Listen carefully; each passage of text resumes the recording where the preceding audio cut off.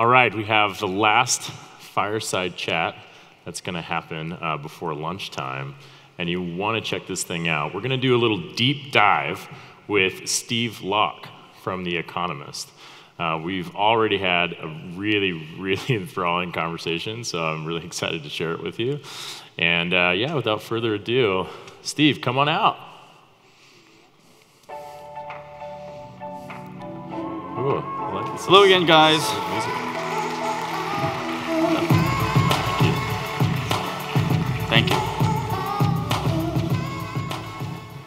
Slow jam you came out to. No, it felt good. It actually it felt kind of like I was Got getting into vibe the mood. just right? yeah.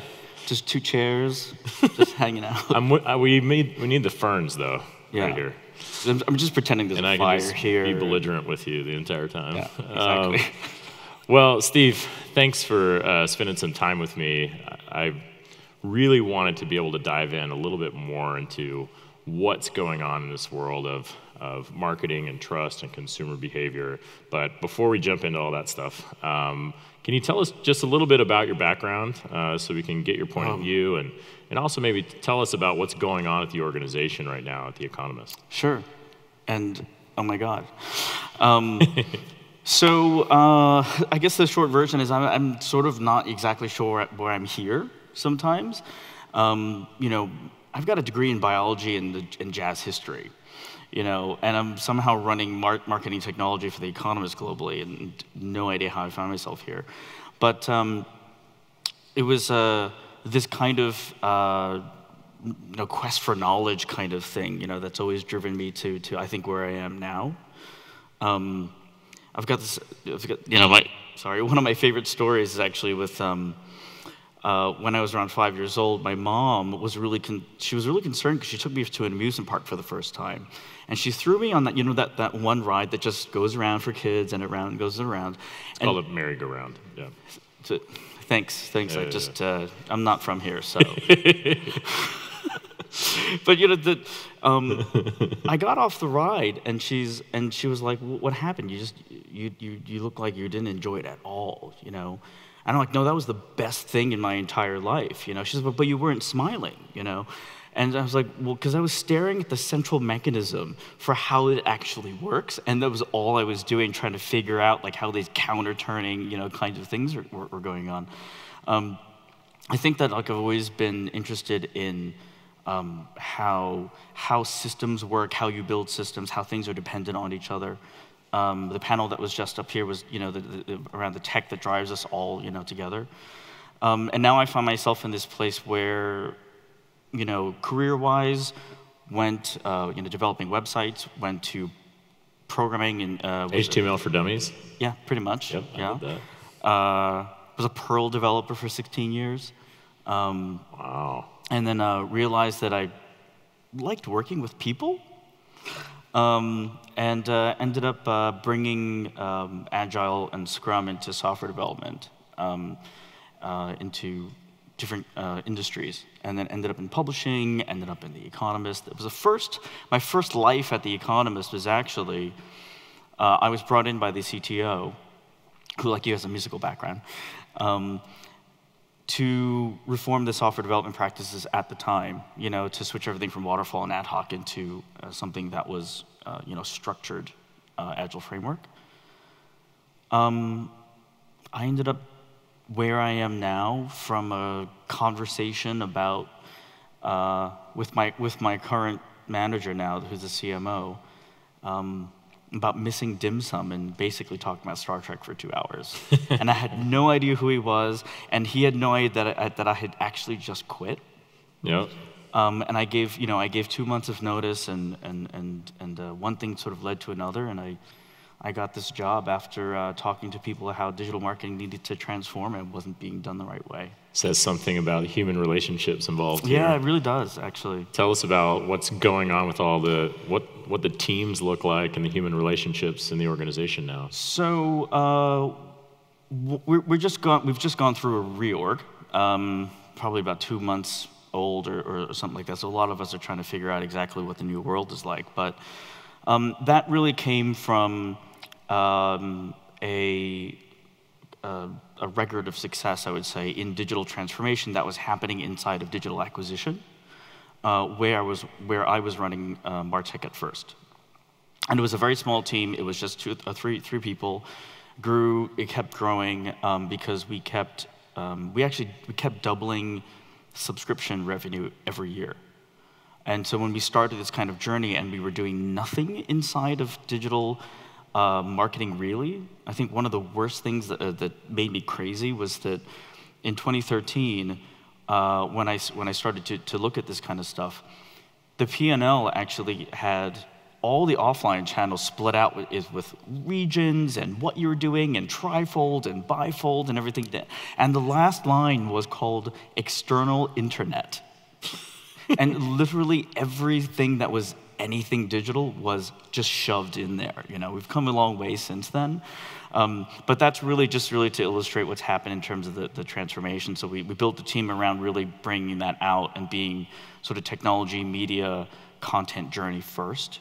Everyone at the table at the same time. Mm-hmm. Um, and you know there was a lot of success you know out of that, and and the reorg has now uh, been an attempt to take that kind of transformative success and particularly I think advance, advancement and application of technology and data to spread it outside of just the, uh, the circulation or subscription marketing organization. We talked a little bit about this concept that you've coined, uh, engineering trust. Right. And um, what it means for your organization, what it means for other organizations. And you know, as you guys have gone through this this reorg, as you think about what is what does it mean? What is what does it mean for the economist to try to engineer trust with the consumer? You know, it's it's one of those things where um, you know when you use the word engineering with trust, it sounds kind of yucky and it feels it can feel kind of like kind of gross, like you know you're you're you're, you're taking something that's supposed to be natural and and, and, and, and making it you know, into a thing that you can to make you know, in some way. And, but it's meant to be provocative in that sense because there are bad actors out there who have been engineering trust for a long time. You know, we, you know, we can, we can talk about Facebook and Cambridge Analytica and kind of leave it there, you know, because I think everybody in the room probably understands exactly more of the nuance of what goes into it and what's going on. So there have already been folks who continually uh, leverage the kind of tools that we have today uh, tools, technology, uh, people lack of knowledge and lack of tools, you know, you know, going all the way down to, to, to engineer what is a qualitative kind of you know, thing, you know, that can be very sort of amorphous or, or, or nebulous. Mm-hmm. And to figure out how to, how to, how to sort of like science it, right? Mm-hmm. Or data science it, or machine learning it, you know, or AI it. Um, and, and they've really had success, you know, because we look at, you know, I think politics is a really easy, a, a easy thing to point to, and um, to see the, the efficacy of that kind of thing. So, so, so utilizing the, the kind of word engineering with trust instead of saying like uh, generating trust or earning trust, you know, which I think more were wholesome, you know, but they're not challenging terms, is an attempt, I think, for at least for me when I when I speak to people to have a bit of a call to arms for those of us who understand the tech, who understand the commercial side of things, how these things interact, how they can be extremely powerful when used together in the right way and the wrong way. Well, in the world of tech, you have to engineer, you have to yeah. build and you have to have some kind of context to which you are building. And it means that as you dive into these concepts of this, this experience the customer is going to have, where the data is going to flow, you ask yourself the question is this going to generate trust? Yeah. You know, we, you know, we're, we're obviously in a, in a mobile conference, and we, and why mobile is like such an important part, you know, of this, of this whole concept and this whole conversation is that we have ascribed a level of trust to these devices that we keep literally on our bodies pretty much 24 7 i don't know about you but i pretty much like you know i sleep on my phone because i end up losing it because it's fallen i fell asleep and it fell out of my hand and as soon as i wake up i'm like where's my phone? Um, and we surround ourselves with you know lots of other things but we've got this device that somehow we have allowed to enter into our trusted circle and it can you know it, it can be you know used as a device that, that we leverage for the for the information we want but it's absolutely tracking us right? This is why we're kind of here right? Mm-hmm. we're, we're, a lot of us come from brands where we rely on this kind of tracking that exists. So bringing in, you know, the, the economist and kind of what the brand stands for and the values that are there. We talk a lot about, you know, values-based based marketing, you know, these days, and aligning brand value to consumers. Um, there's, there's, there's kind of a duty, you know, that's, that's there to, to take a privileged position, I think, in, uh, in, in the ecosystems that we're in and especially now today with uh, you know the, the difficulty, let's say, of trusting news sources, um, you know, on, regardless of you know where you are, really I think requires those of us who have an idea and a clue about the way that these things work to ask questions and ask questions of others. Mm-hmm. And so when we have this kind of uh, when we're in this arena where we've ascribe this level of trust to this mobile device that sits with us, you know, we have to kind of ask ourselves, like, you know, with this kind of power you know, that we have, what are the right things to do? yeah, I love the way this brings the human element to it all day because you can say, I'm going to engineer trust. But if you're not thinking, if you're not bringing ethics to the table, mm-hmm. you're not bringing a concept of culture to the table, um, and this human first person perspective, then you're just you're just building a workflow that automates towards some kind of metric. And maybe yeah. there is a, a trust metric or something that you can create, but there's this weird fine line between what is what is uh, discernible by the end user as you trying to manipulate them and get their trust. yeah. It's not quite the real it's thing. It's like what you were saying earlier in, in your yeah. keynote, and you're like, you know, I'm, I'm going to tell you exactly how I got you over here. You know, to this point, nobody really wants to know that. You know, yeah. who wants to be actually walked up to in a room and be like, I know exactly who you are. I know who you're married to. I know how many kids you have. I know what you were watching, you know, three minutes ago, and I know that you're not paying attention. When I was young in this industry, I applied for a job, and I thought it would be cool to create a dossier on every person that I was interviewing with. so, and I, I searched everything on the internet I could find, all their yeah. favorite books, and like all these things. And man, I was creepy. it did not work out. You know, it's it's uh, you know this the, the, concept in robotics with the uncanny valley. Mm-hmm. Um, there's this, you know, I utilize this as if, if you guys aren't familiar. Um, it's just, it's just, you know, very simply that, that concept in robotics where, you know, the, the closer and closer you get, you know, towards a, an actual representation of a human being, there's this, there's this area where it gets like cooler or cuter and, you know, kind of like, hey, that's really cool. And it starts to get more and more like us, but not quite. And it dips into this area where it's creepy as hell.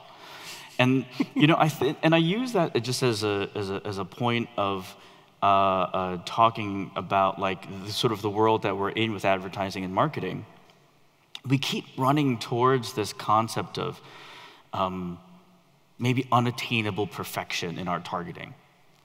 And it's kind of to your point where you're, you're also talking about this people-based marketing, you know, kind of kind of piece also. It's like, okay, well, if you've got all this data on, on every single person, what you do with it right? And again, where that's where that piece is like, am I doing the right thing here?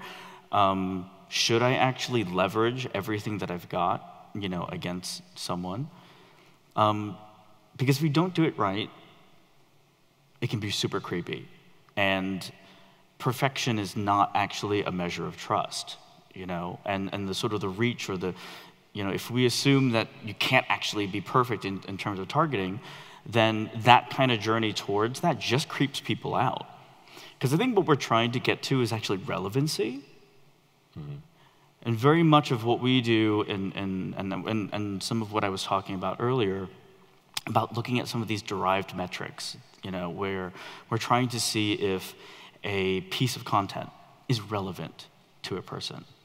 We're trying to see if a particular feature is relevant You know, and that goes all the way down to whether a, a scroll wheel, you know, or a bar is on the left or the right.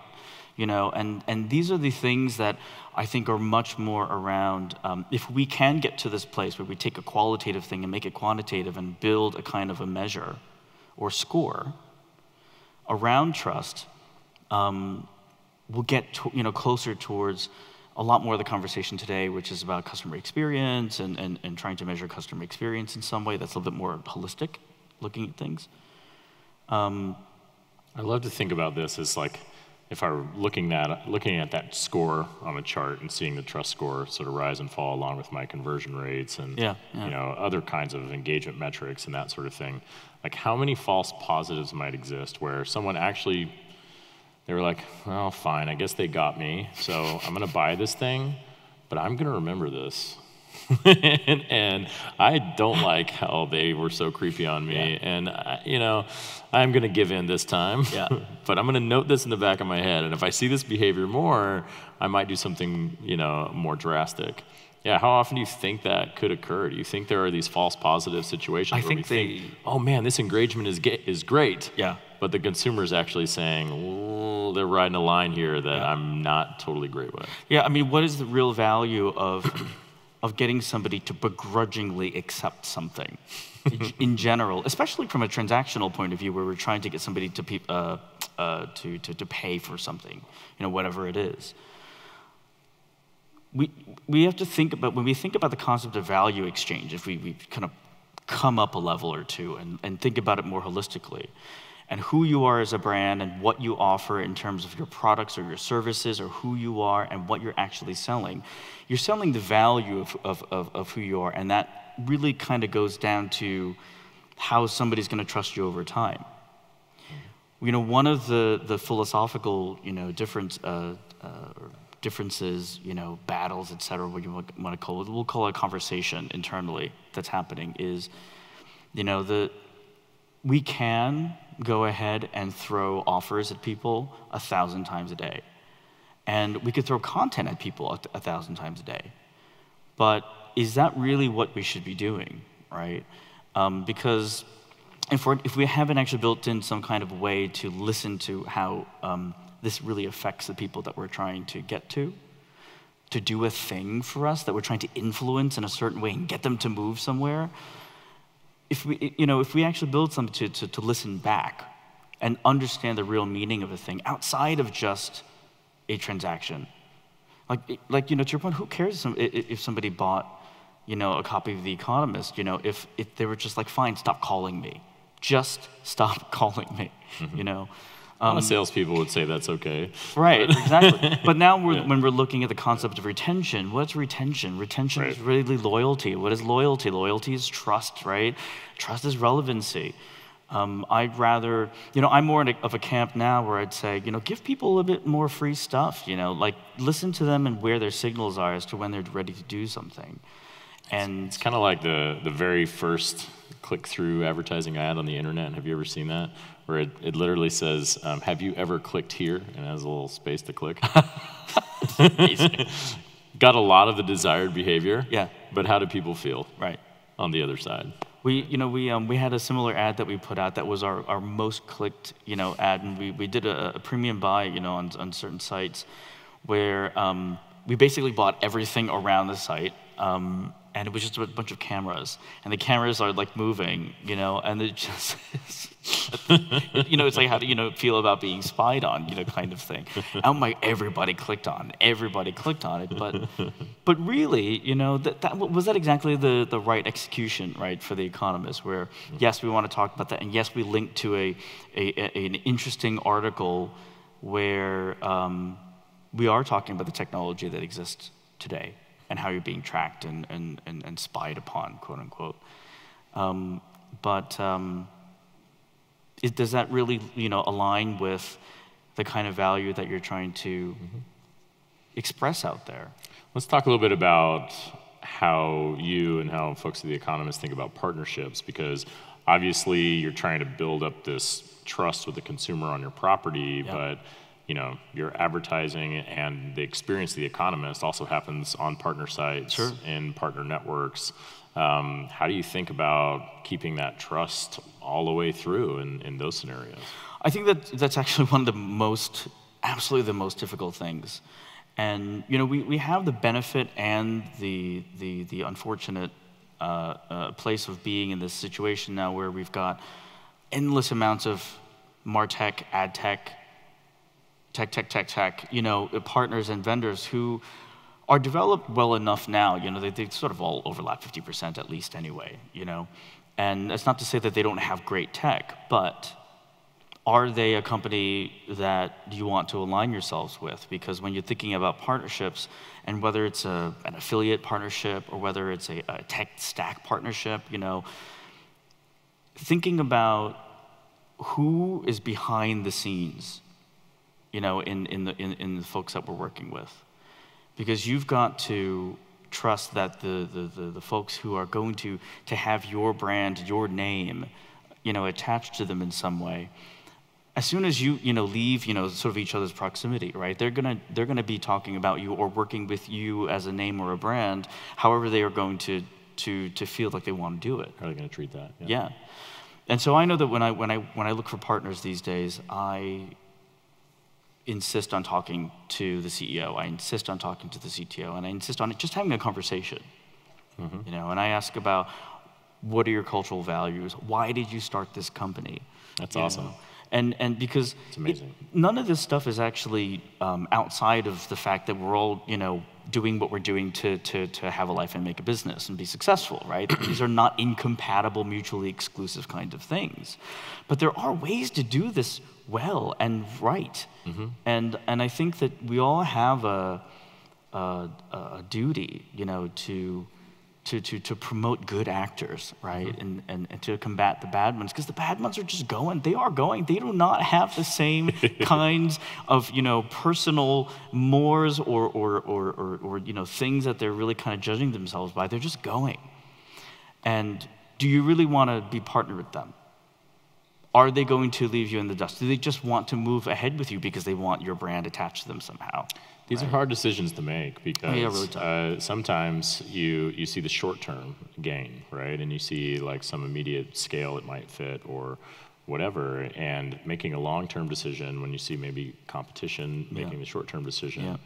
It's a it's a tough thing that we compete with in our world in general. Yeah. Um, looking at the shortcuts, weighing the risks, understanding the long term. It's very humanistic, right? To, to go after those things. Yeah, whether you're in the tech world or the media world or the advertising world, no one wants to wait, right? No one wants God to wait. right? No one wants to wait for success, right? I, I, I think there's, um, there, there's at least an element that I, that I believe myself that I can influence, which is that um, there, there is a knowledge gap with a lot of folks who have been, in, in some ways, sort of sideswiped, you know, in industries that have been disrupted by technology, and they don't have the, they don't have the vocabulary, they don't have the skill set, they don't have the knowledge, and there's nothing wrong with that, but there are, you know, there are players who prey on you know, that kind of fact and say, "I'm just going to sell you a thing uh, because you know you need it. Don't you? Don't you need it? D- don't you know? Hasn't somebody else you know said that you, you should be doing this? Right.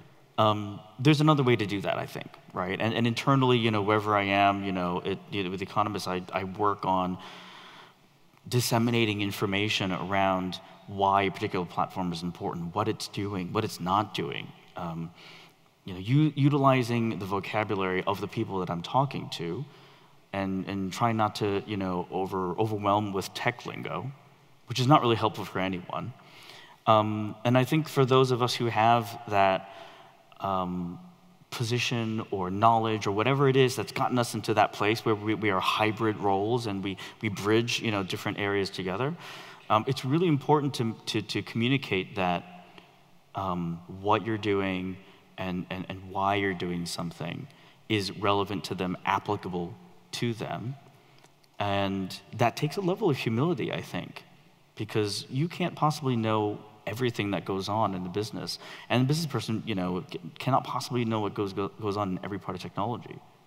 That's right. And, you know, So to tie a bow on this uh, sort of engineering trust, for all of us here, what's the like? What's the first step to start working toward that in our organizations? If we're going to think about um, how that works across our teams and in product, and you know, like designing a, a, direction toward engineering trust. What's what do you think's the first the first piece?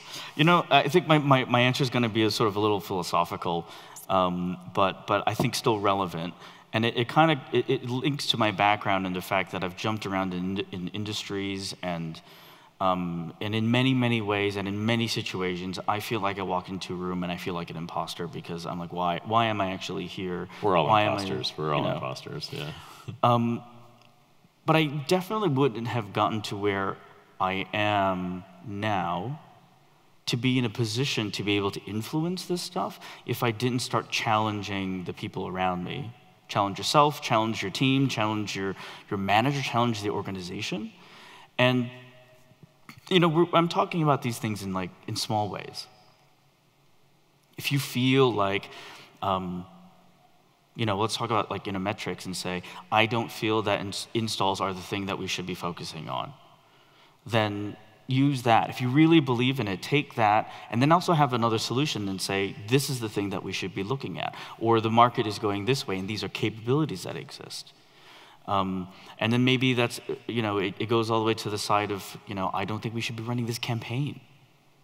Mm. That certainly happened at The Economist before, you know, where we um, throw lots of ideas around, and we like to think that, in, uh, particularly in the marketing side, that we have this kind of provocative, uh, you know, uh, appeal. Uh, yeah, provocative appeal. The messaging's a little, you know, making you think kind of thing. It's a little cheeky. Mm-hmm. Um, but sometimes that stuff goes over the line a, a bit.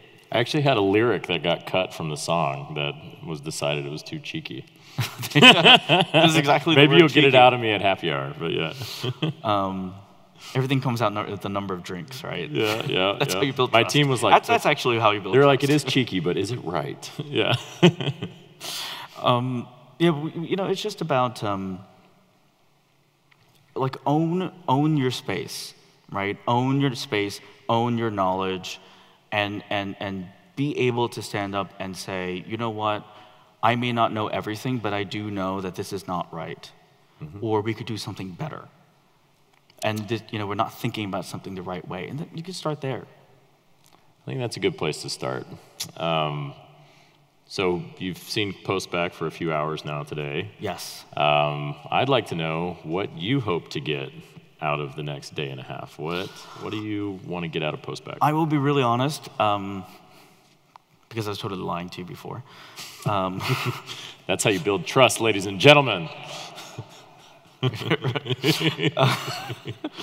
um, with this reorg that's happened, right? Um, presumably, my, my remit now is looking at over marketing technology as a capability across all you know, revenue and business lines. And uh, my strongest area is definitely not mobile. It's absolutely not mobile. I, I think I know a thing, um, and I, I, do know some stuff, but um, I came here to learn. I came here to learn from the, the best of you know minds. You know, so I've been sitting and, and listening to the panels and being actually interested in really you know what's going on. I am totally just absorbing. Um, there's you know we should never stop. You know we should never actually stop learning, especially fighting our own level of I maybe I don't want to sit through this. I already know this. You know this kind of stuff. I mean, if you, that's already a loss right there. You know if you've already tuned out. So for the next, you know, day and a half for me, it's about keeping myself tuned in, and uh, I, that was totally an unexpected pun, but it's all about being contextual. I yeah. like that. Yeah. Um, but but I am, you know, really here to to kind of listen to to the the wisdom and knowledge that exists and experiences that people have. That's great. I'm in the same boat. Um, Thank you guys so much. Thank you, Steve, for spending some extra time diving really deep into yeah, this. No worries. This Thanks is an inspiring conversation for me, and I hope it was for everyone. Big round of applause for Steve. Thanks.